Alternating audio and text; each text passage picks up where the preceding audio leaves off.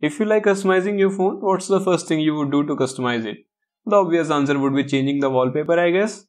And if you're not that kind of person who set pictures of himself as his wallpaper, then I'm sure you would appreciate this video.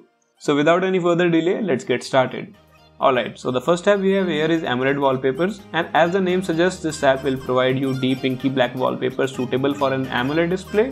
You get many categories to choose from such as landscape, superhero, abstract and many more. To set a wallpaper just click on it and tap set and you are good to go. You can also save the wallpaper or add it to your favorite list for using it later. All of the wallpapers on this app are of high quality so if you have a phone with an AMOLED display then you should definitely check out this app. Moving on we have backdrops. I really love the wallpapers on this app. They look very pleasing to eyes and gives an aesthetic look to your home screen. You get the recommendation of a new wallpaper every day and most of the time I get good results from this explore tab itself but you can always navigate to the category section to explore more wallpapers according to your preference. I personally like the wallpapers in the scenery section so if you download this app don't forget to check out the scenery section. Apart from this as you can see that I can only set wallpaper to my home screen or lock screen but cannot download it.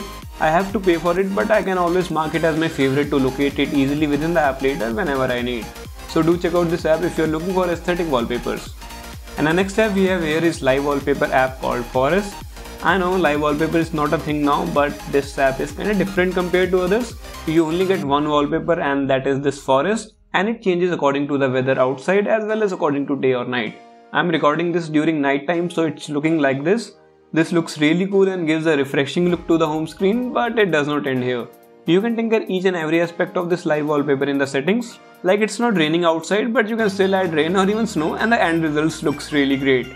Apart from this, you can change layers, add parallax effect and also customize the depth of the effect and much more.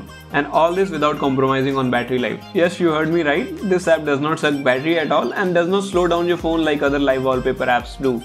So do check out this app if you're looking for something different or you have gotten bored from regular static wallpaper apps. Moving on, we have Dope Walls. This app justifies its name. Collection of wallpapers on this app are really dope. You even get a category named Dope in the app and actually not in this dope category, wallpapers in every category in this app are really awesome. New wallpapers are added on regular basis and quality of wallpapers are also great and most of the time I get great results on the popular tab itself. So if you're looking for something new, something cool, this app is the one you should download right away. Coming to the setting up of any wallpaper, as you can see I get option to save wallpaper or set wallpaper directly but you can also edit wallpapers in the app itself which not many apps offer. Like you can blur wallpaper crop it and flip it accordingly the way you want.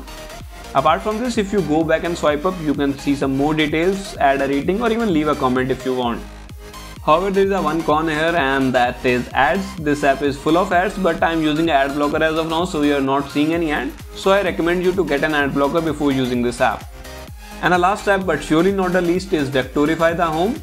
This app is very unique and you get to create your own wallpapers with the given vector images. First you need to select the category of the vector images. There are not many categories available as of now, but it is what it is. Then you need to choose any image from here and now you can change the color of selected image from the given colors or you can also choose the colors you want by entering RGB values or you can also add color code directly if you want and same goes for the background as well. However, I prefer choosing colors from the given presets only so once you are done with creating your required wallpaper, click on this stick and now you can adjust the size of the vector image and move it accordingly and you are good to go. Now save this wallpaper or apply it directly to your home screen. I found this app very unique for the freedom it offers and the wallpapers generated through this app are also of high quality. So yeah, that's pretty much it for today's video. Which app do you guys like the most? Let me know in the comments below. And do subscribe to my channel for more videos like this. I'm Ravneet signing off for now. You guys have a great day.